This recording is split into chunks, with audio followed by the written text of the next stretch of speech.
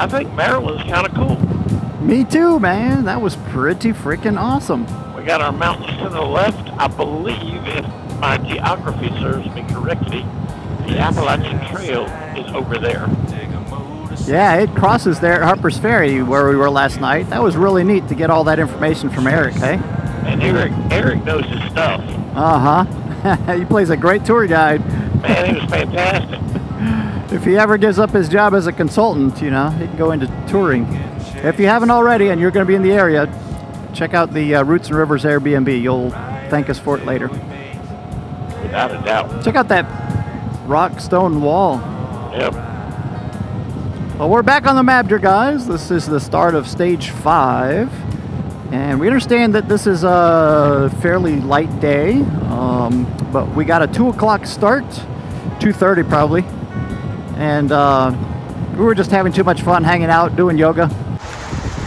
I love the story of how you and Eric met. You can correct me if I'm wrong. I want to hear your side, but according to Eric, when he moved to Notre Dame to teach in Notre Dame, he was looking for a new yoga studio. Uh-huh. He was going through the pages and he saw the number one listed one, highest recommended, was right here, right? Yeah.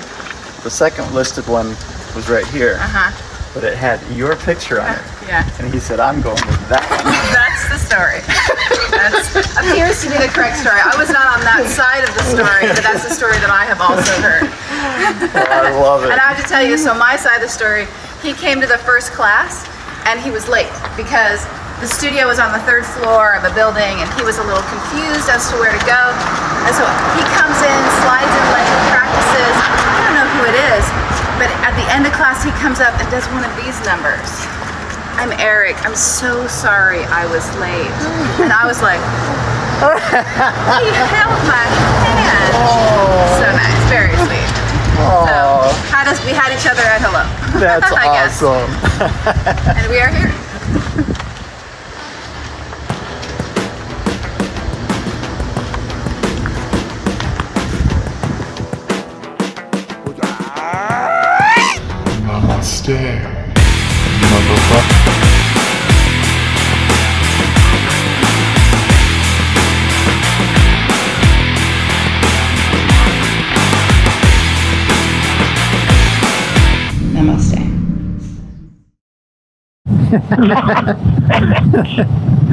So we got a late start, but it was so worth it to chill for a little bit and get a little break. We've been pushing so hard. So, Decided to take a semi day off. yeah, take a morning off. Coffee and quiche.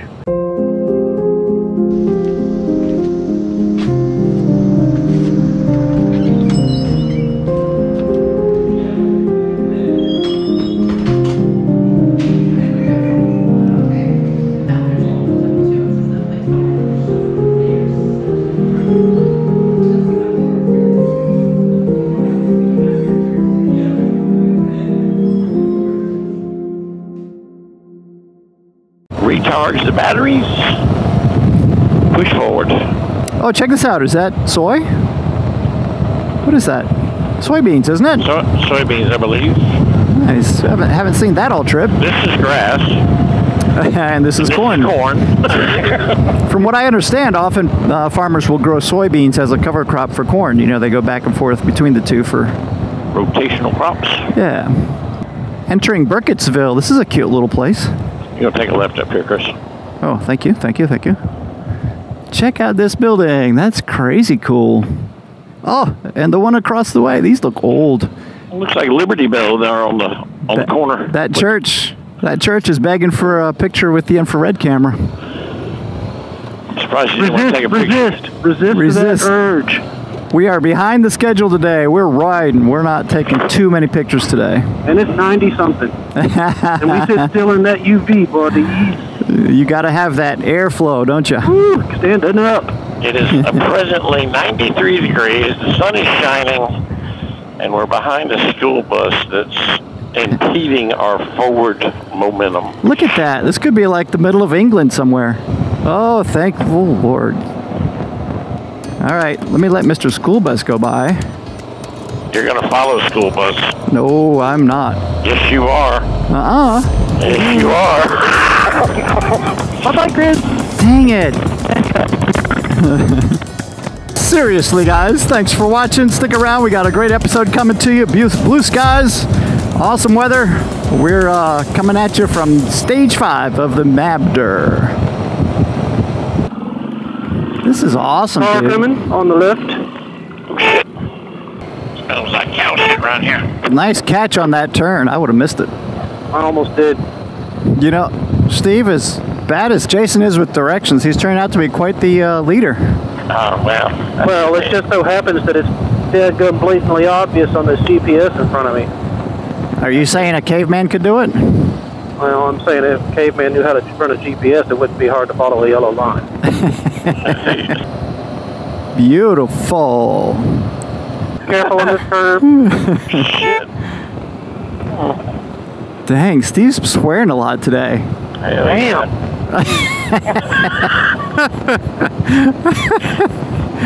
Fucking quit it, Steve. I'm rolling on Steve. Gravel, gravel, gravel. Oh, Shit. There he goes again. Gee, Steve. Yeah, I had good reason on that one.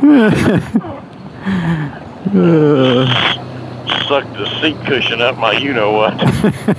The sphincter says what? You want me to say what? Like, I don't get it. Wow, this is beautiful though, coming through. Mm-hmm. Yeah, you go right ahead. I'm, yeah, come on by me on the left. So Steve, Steve was like, I cut on the inside line. And I said, well, I'm going through then. I'm engine braking down the hill. Me too. Woo, bump, slow down. Damn, something's dead. That her. Woo, yeah, you see it. Mm-mm-mm. Bumpity bumpity bump bump bump. At your leisure, Steve. No hurry.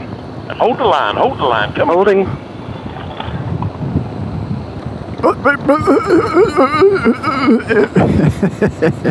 Holding.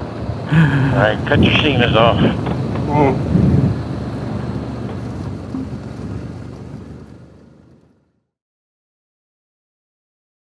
So here we are sitting in this really cool Jeep.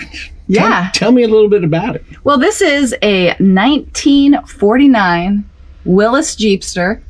It was the first civilian Jeep after World War II. So the first edition came out in 1948. This is second edition, 1949. But this was the first Jeep that uh, they, they made for civilians. And uh, this is my my granddaddy's car. He was a Jeep mechanic in the war. And, uh, and after the war, he had to have himself a Jeepster. This is so cool. So is this the original? Only less than sixteen thousand miles on this. Probably not. it's probably a hundred. it's probably gone over. Over? You know what I mean? That's my guess. So tell me a little bit of the story about this. I understand that um, this is has made the rounds. This has made the rounds. So this, I don't know where its origin story started. Started, but I grew up with this living in my granddaddy's garage, and um, and he would let me sit in it on special occasions. And so this smell that you smell in this is is like my childhood, right? And um, so yeah, so my grandfather had it, and it's an interesting story because he wanted to find out before there was social media. He used to take out ads in the local in the in, in the national car magazines in the classifieds and ha- and put it up for sale three times its value and so that people who were into jeepsters knew he had one and they'd reach out to him and say man that is crazy price for that for that vehicle right?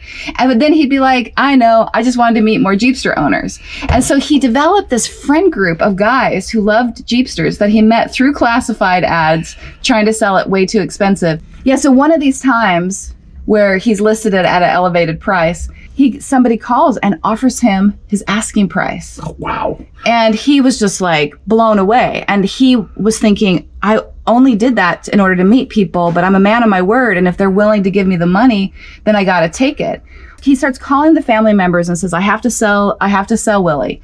And everyone's like, no, you don't. You can tell them, you know, that you were just elevating the price. And he says, no, I'm out of my word. They offered me the full price. And my aunt Karen was like, give me this guy's name. I'll call him. I'll call him. I'll talk to him. And he's just like, I don't know. He's some Jew from Hollywood. And Karen goes, Spielberg? Yeah, yeah, that's the name. That's the name.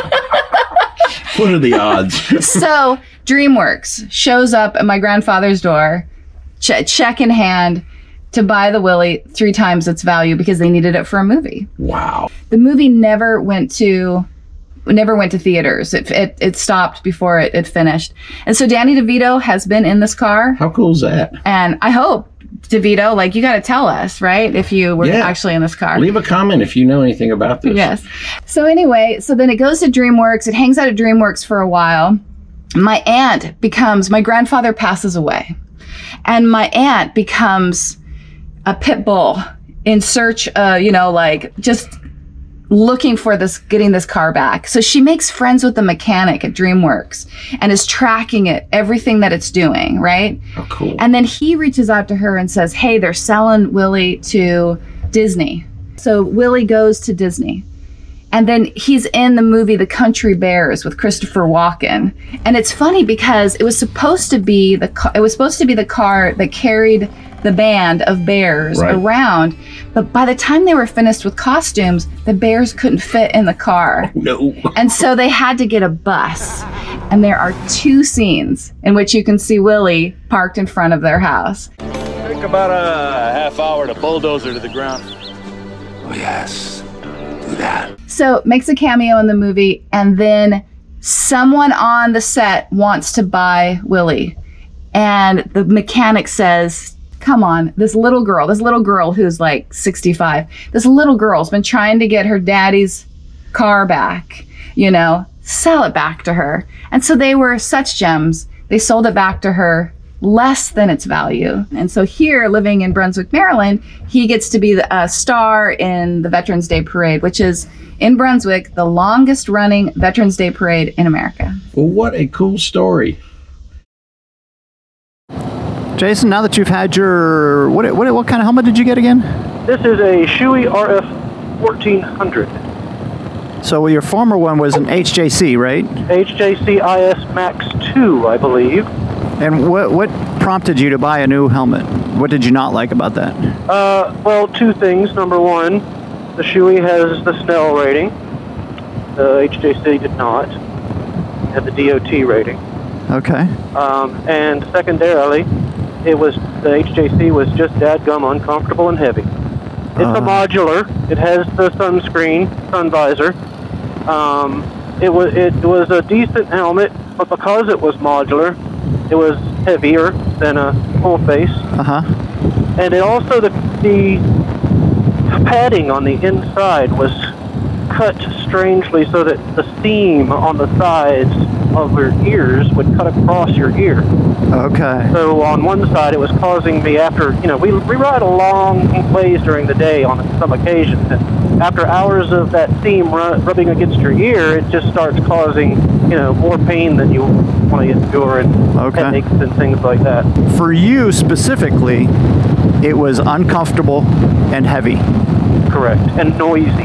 Now, And noisy. the noisy most people can get away with because you can put in earplugs or hide behind your windscreen, get a bigger windscreen, things like that. But we're recording audio. So one of my big concerns or big um, things that I was looking for is a, a very, very quiet helmet. Okay. So I want to put my head, my, my shield down now to to make sure that we are getting quiet audio. Huh. So So did you get a did you get a Shoei because I have a Shoei and my recording was so good? uh, no. that wasn't why. Well, I I, uh, I I did a bunch of YouTube research, you know, like everybody should, mm-hmm. and I had narrowed it down before ever trying them on. I had narrowed it down to three: AGV, Schuberth, and Shoei. So I went to the local Cycle Gear Mm-hmm. and tried on some helmets. The AGV was nice. Now the Schuberth had Cadillac padding. I'm telling you what, that thing was nice, and it felt good, and it was seemed to be um, fairly quiet. And and I was, and let me say this as well, I was looking for a full face. I was not going to go modular again because weight and noise. Right. So I crossed that off the list. I wasn't even going to shop for it. But the Schuberth was fiddly.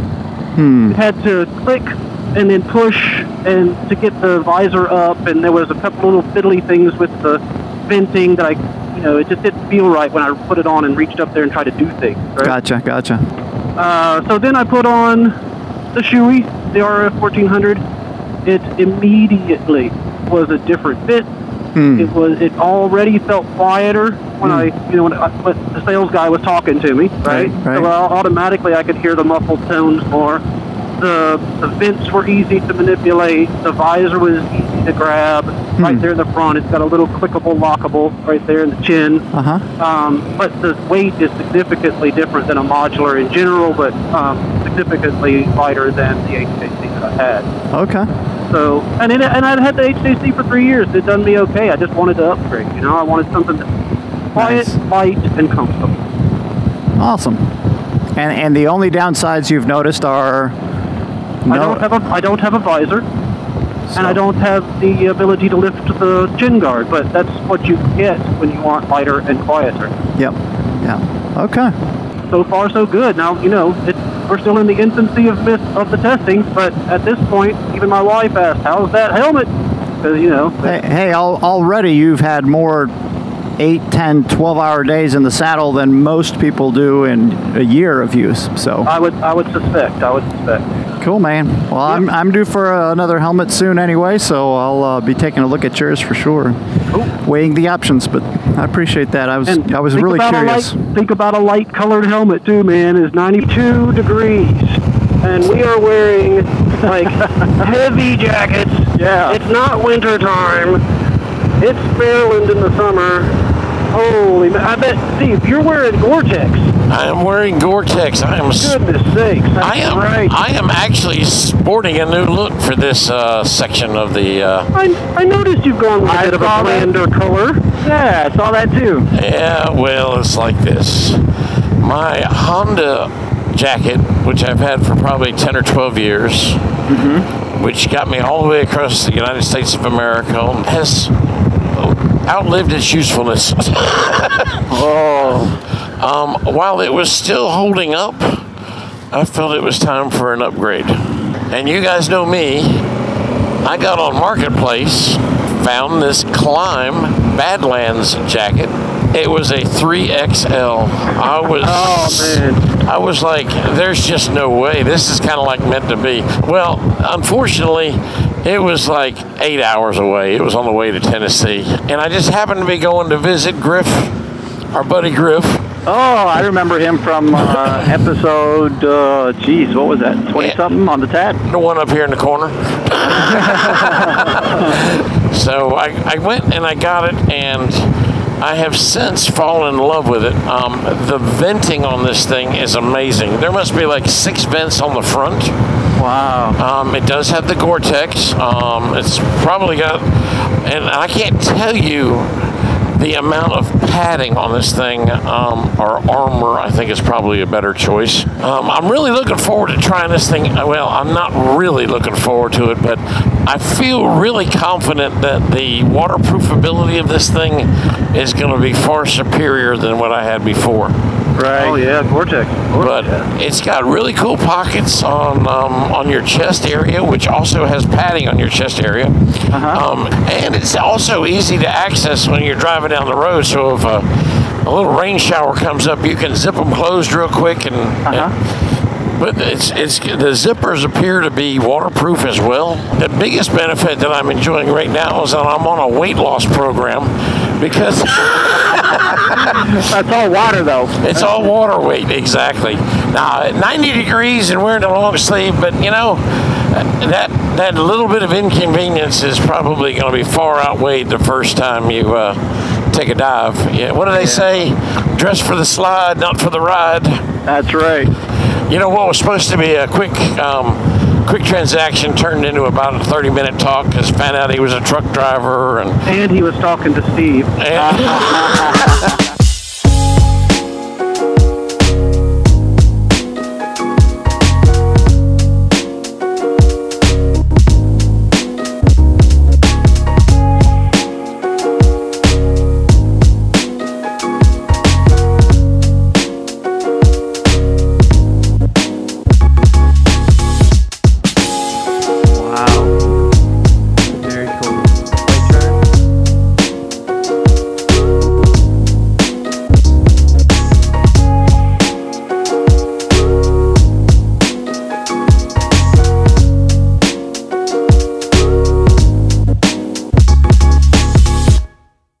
finally entered Michaux State Forest.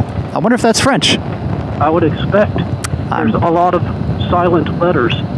I only have one thing to say. We.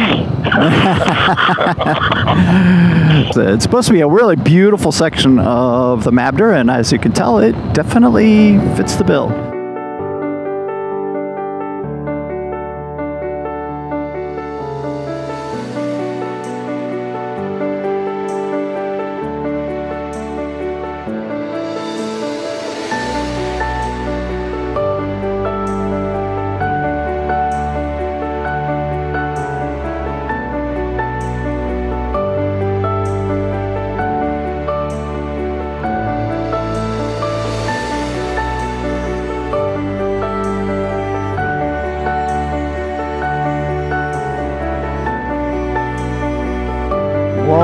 Light, you guys, the backlighting is beautiful. It's really neat, the uh, light coming through the dust. Oh, that's beautiful.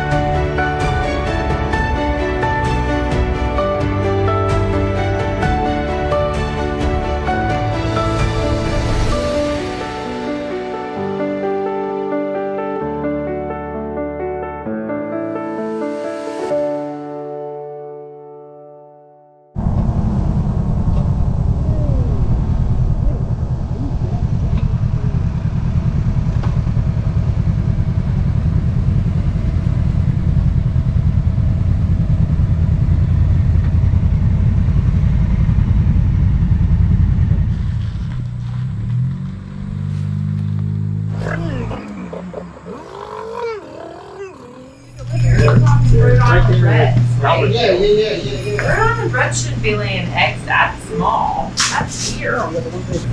This is an awesome place. How long has it been here? Um, like 150 years. Wow. You Yeah, don't look the that building- old. Look at old.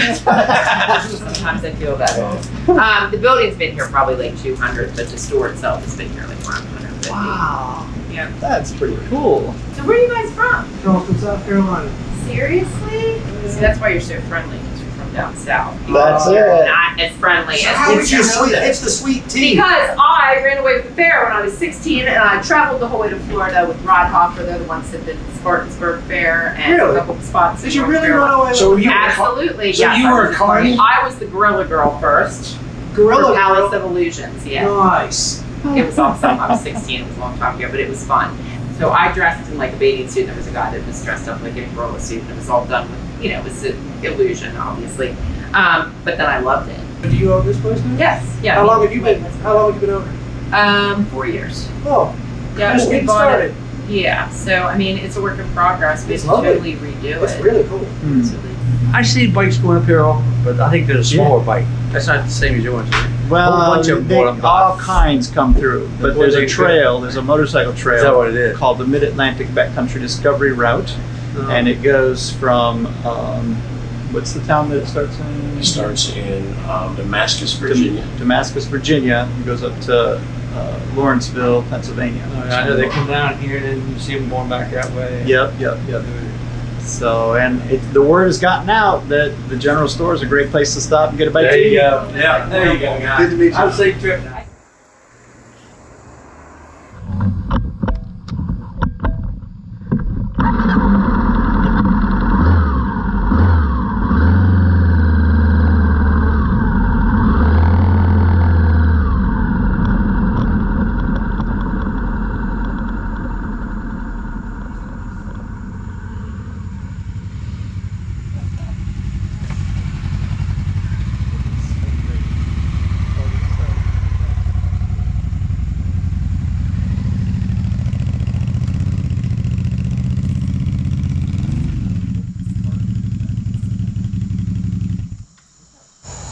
Man, How was dinner? Dinner was fantastic. the perks of just being friendly. so we had dinner. We're just sitting around. Store closes. They pull the drapes down. They tell us to take time. We're sitting there talking. Like the, like the store's closed. They're not letting anybody else in, but they're letting us hang out with them. It's crazy. And then we just kind of randomly said, hey, where's a good camping spot? And they gave us the name of this campsite and gave us directions, and we looked it up, and it was 17 minutes away. Then all of a sudden they say, would y'all like to just sleep in the backyard? Camp in our backyard, right? And I'm like, for the win? Yes, we would. So this is an example, you guys, of how kindness begets kindness. You know, we come in with an open mind and we're chatting and talking and being nice to them, and you know, good karma comes back. Yes, indeed.